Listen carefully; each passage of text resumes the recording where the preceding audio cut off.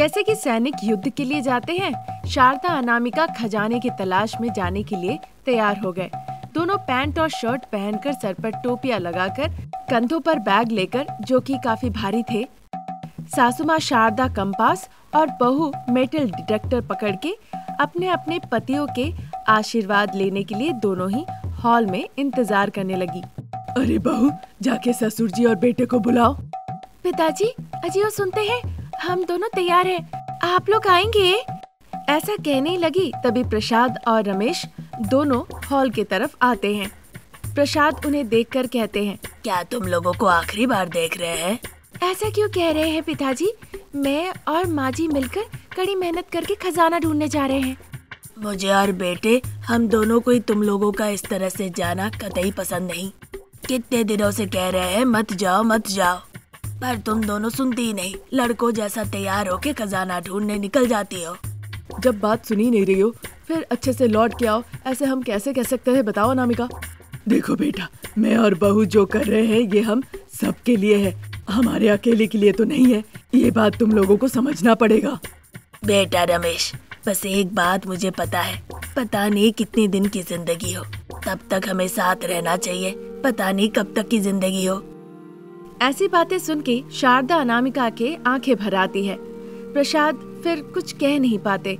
वहाँ से वो चले जाते हैं। रमेश भी अपने पिता के पीछे पीछे चला जाता है। शारदा अनामिका अपनी आँसू पोछती है। फिर वो अपने घर से बाहर निकल आती है। घर के बाहर एक बुलेट बाइक रखी हुई थी। वो दोनों उस पे बैठकर रवाना हो जाती हैं। फिर दिन रात के परवाह किए बिना कभी सास, कभी बहू बुलेट गाड़ी चलाती है। ऐसा तक कि पूरी रात गाड़ी चलाते हुए वो घने जंगल के अंदर पहुँच जाती है। वहाँ एक पेड़ के पास जाके रुकती है। माँ जी आज हम यहीं पे विश्राम करते हैं। ठीक है बहू तुम टेंट लगाने का बंदोबस्त करो। मैं रात का खाने का बंदोबस्त करती हूँ। ठीक है माँ जी। ऐसा कहकर शारदा अपने थैले से कुल्हाड़ी निकालती है टॉर्च लाइट की रोशनी लेती है और आगे बढ़ के एक पेड़ से लकड़ियाँ काट कर फिर उसे वापस ले आती है। उधर तब तक अनामिका ने टेंट लगा लिया था। फिर थैले से खाना बनाने की सारी जरूरतमंद चीज़ें निकाली। आधे घंटे के अंदर सास बहू ने खाना पका के खाना खा लिया। फिर टेंट के आगे आग लगा के दोनों सो गए। कुछ देर के बाद टेंट के आगे एक बड़ा सा बाघ आया और वहाँ आकर ज़ोर ज़ोर से वो दहाड़ने लगा। बाघ की दहाड़ने की आवाज़ सुन के अनामिका की नींद खुल गई। जल्दी से वो उठ के देखी कि दूर आग के पास एक बड़ा सा बाघ खड़ा है और वहीं से वो निगरानी कर रहा है। ये देखकर अनामिका डर गई। माँ जी माँ जी उठिए। उठिए माँ जी। हमारे टेंट के सामने एक बाघ खड़ा है। माँ जी उठिए। जैसे उसने कहा, जल्दी से शारदा ने अपनी आँखें खोली। खोलते ही उसने देखा थोड़ी दूर पे एक बाघ खड़ा है। बाघ को देखकर शारदा समझ गई कि वो अब उनके ऊपर हमला करने का दृढ़ निश्चय ले चुका है। परिस्थिति समझते ही शारदा अनामिका के कानों में कुछ फुसफुसा के कहती है। ठीक है, माँ जी। इतना कहकर सास बहू टेंट से बाहर आती है। बाघ उन्हें देखता है, ज़ोर से दहाड़ता है। फिर शिकार करने के लिए वो कूदने को तैयार हो जाता है। तभी शारदा और अनामिका आग की छड़े लेकर बाघ के सामने खड़ी हो जाती है। हाथ में आग के छड़े को लेकर वो बाघ को दिखाती है। ये देखकर बाघ वहाँ से भाग जाता है। लेकिन उस रात सास बहू सो नहीं पाती, जगी रहती है। अगले दिन सुबह सुबह सास बहू कंपास और मेटल डिटेक्टर पकड़ के खजाना खोजने के लिए जंगल में निकल जाती है। थोड़ी दूर जाने के बाद उन्हें एक चीटी का टीला दिखाई देता है। जैसी शारदा मेटल डिटेक्टर आगे बढ़ाती है, बत्ती जलने बुझने लगती है। सास बहू बहुत खुश हो गई और एक दूसरे को देखने लगी। शारदा, हमें खजाना मिल गया। इस चीटी के पहाड़ को खोदने से होगा। चलो। ऐसा कहकर शारदा वहाँ पे जाती है। अनामिका चारों तरफ़ का जायजा लेती है। शारदा एक बड़ी सी छड़ी लाके उस पहाड़ को तोड़ देती है। उसके अंदर एक सुनहरा सांप था, जो कि अचानक से अदृश्य हो जाता है। मैंने आज तक कई सारे चीटियों के पहाड़ तोड़े हैं। सारे सांप भाग गए हैं, पर कोई अदृश्य नहीं हुआ। पर यहाँ सोने का सांप अदृश्य हो गया। मतलब खजाना यहीं पे है। इस बात को लेके आप इतनी निश्चित कैसे हो रही है? ताकि डकैता के खजाना चोरी न करे। इसीलिए सांपों को मायावी सांप बना के रखा जाता है। मैंने कई किताबों में पढ़ा है। फिर तो सांप अदृश्य हो गया मतलब खजाना यहीं पे होगा ना माँ जी हाँ हाँ बहू चलो देर ना करते हुए खुदाई करते हैं। इस तरह सास बहू बातचीत करते करते पहाड़ तोड़ने लगती है। थोड़ी देर खुदाई के बाद उन्हें अंदर सीढ़ियाँ दिखने लगती है। आश्चर्य होके देखते देखते वो सीढ़ियों से नीचे उतरने लगती हैं। उन्हें कुछ भी नहीं दिखता। तब तक अंधेरा हो चुका था। अनामिका अपनी टॉर्च की बत्ती जलाती है। बस सास बहू को ढेर सारे सांपों की फुपकारने की आवाज़ आने लगती है। सांपों को देखकर सास बहु आश्चर्य हो जाती है। अनामिका तो घबरा जाती है। हे भगवान नहीं नहीं हमें खजाना बिल्कुल नहीं चाहिए। चलिए घर वापस चलते हैं। चलिए चलिए माँ जी क्यों डर रही हो बहू? मैं हूँ ना। क्यों सासू माँ मेरे मरने के बाद मेरे शव को ले जाने के लिए? नहीं बहू तुम्हें और खजाने दोनों को साथ ले जाने के लिए। ऐसा कहकर वो अनामिका के हाथों से टॉर्च की बत्ती ले लेती है और चारों तरफ़ टॉर्च घुमा के देखने लगती है। वहाँ दीवार पे चिपकाया हुआ एक कागज़ दिखता है जिसपे पूरी तरह से धूल जमा हुआ था। अरे बहू देखो वहाँ उस पे कुछ लिखा होगा। उनके कहने पे अनामिका कागज़ की तरफ़ देखती है।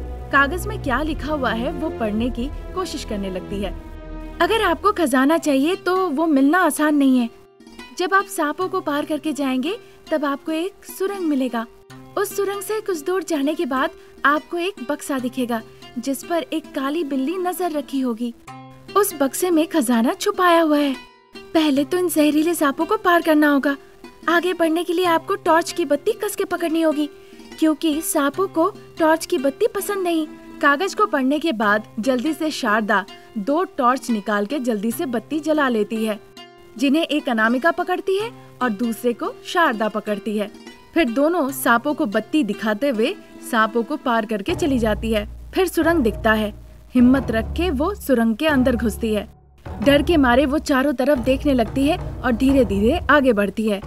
पर माँ जी, ऐसा लिखा हुआ था कि एक काली बिल्ली उस बक्से की रक्षा कर रही है। होगा चलो देखते हैं। थोड़ी दूर जाने के बाद उन्हें एक बक्सा दिखता है जहाँ पे एक काली बिल्ली भी थी। टॉर्च की बत्ती से काली बिल्ली चिल्लाने लगती है और वहाँ से वो चली जाती है। फिर सास बहू हिम्मत करके उस खजाने के बक्से को उठा के बाहर ले आती है और उसे अपने साथ घर ले जाती है। सास बहू घर लौट आई है। ये देखकर बाप बेटा बहुत खुश होते हैं। उस खजाने के पैसे से वो अपने लिए एक घर और एक गाड़ी भी खरीदते हैं और खुशहाल ज़िंदगी बिताने लगते हैं। आज यहीं तक नई कहानी लेके जल्द हाजिर होंगे। नमस्कार। अमीर घर के दंपति शारदा और प्रसाद सोफे पे बैठकर अपने बेटे रमेश की होने वाली पत्नी के बारे में बात कर रहे थे। नहीं, ऐसा नहीं है। और गुस्से से पति पत्नी एक दूसरे से लड़ रहे थे। तभी तैयार होके गाड़ी की चाबी लेके रमेश उनके पास आता है। रमेश को देखते ही शारदा प्रसाद दोनों शांत हो जाते हैं। आज तो ऑफ़िस नहीं है ना बेटा? तैयार होके कहाँ जा रहे हो? बाहर जाते वक्त किसी से कहा जा रहे हो नहीं पूछा जाता। ये तो नहीं पता पर बहू पढ़ी लिखी चाहिए। क्या कहूँ? हाँ इस घर में मुझे एक पढ़ी लिखी लड़की ही चाहिए। ऐसी लड़की मैं इस घर के लिए ढूंढ रही हूँ। शारदा की बातें सुन के प्रसाद मज़ाक में कहते हैं। शिक्षा शिक्षा शिक्षा। शिक्षा को खा लोगे क्या? जब देखो शिक्षा का नाम जपते रहती हो। उनकी बात सुन के शारदा दुखी होकर कहती है आपने जैसा कहा शिक्षा अगर खाने की चीज़ होती तो कितना बेहतर होता। अगर वो करेला जैसा कड़वी होती तो भी नमक मिर्च डाल के मैं कैसे भी उसे खा लेती। कम से कम मैं सबसे कह तो पाती कि मैं शिक्षित हूँ। कहकर शारदा रोने लगती है। शारदा को इस तरह दुखी होते देख बाप बेटा पिघल जाते हैं। फिर वो शारदा को आके समझाते हैं। सुनो शारदा कांटी बन के तुम मेरी ज़िंदगी को पहाड़ों की ऊंचाई तक पहुंचाई हो। तुम मेरे लिए देवी हो। इस तरह रोगी तो मुझसे बर्दाश्त नहीं होगा। अब पढ़ी लिखी बहू इस घर में आएगी। मैं कुछ नहीं कहूँगा। प्रसाद की ऐसी बातें सुन के रमेश मनी मन सोचने लगता है। अरे बाप रे मुझे तो मैट्रिक फेल लड़की अनामिका से अब प्यार हो गया है। अगर मैं इस बारे में कहने भी जाऊँ तो घर में मानो युद्ध शुरू हो जाएगा। नहीं नहीं, अभी मैं कुछ नहीं कहूँगा। ऐसा सोचकर वो चुपचाप घर से बाहर निकल के गाड़ी में आके बैठ जाता है। फिर गाड़ी लेके वो खुशी खुशी गाँव के तरफ़ जाने लगता है। इसी तरह दिन निकल रहे थे। अचानक से एक दिन रमेश अनामिका को शादी करके सीधा घर ले आता है। शारदा आरती उतार के उन्हें घर में प्रवेश कराती है। अब बताओ बेटा ये लड़की कौन है? इससे तुमने क्यों शादी की? माँ इस लड़की का नाम अनामिका है। इसे शादी करने के पीछे की वजह तुम दोनों ही हो। हम दोनों?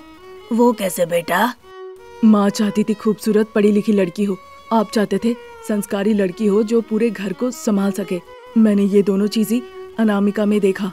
इसीलिए मैंने उससे शादी कर ली और बहू बना के उसे घर ले आया। उसकी बातें सुन के शारदा और प्रसाद दोनों बहुत खुश हुए। वो अनामिका के साथ बड़े प्यार से पेश आने लगे। शारदा अनामिका के हरेक काम में उसे मदद भी करने लगी। जो कोई उसके घर आए, ऐसा तक कि रोड से गुजर के भी जाए, वो सभी से कहने लगी कि उसकी बहू रानी पढ़ी लिखी है, इसीलिए वो बहुत खुश है। इसी तरह दिन गुजर रहे थे। एक दिन सास बहू सोफे पे बैठ के आराम से टीवी देख रही होती है। तभी प्रसाद हाथ में एक चिट्ठी लेकर घर आते हैं। बहू रास्ते में मुझे पोस्टमैन मिला।